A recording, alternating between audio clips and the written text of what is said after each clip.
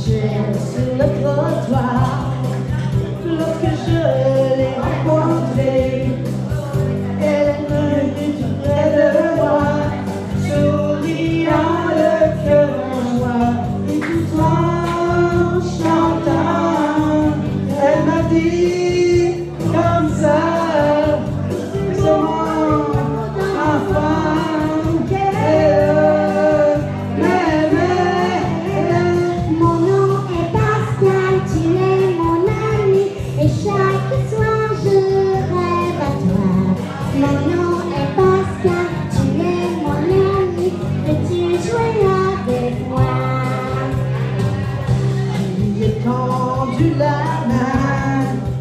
Tous les deux, on était bien.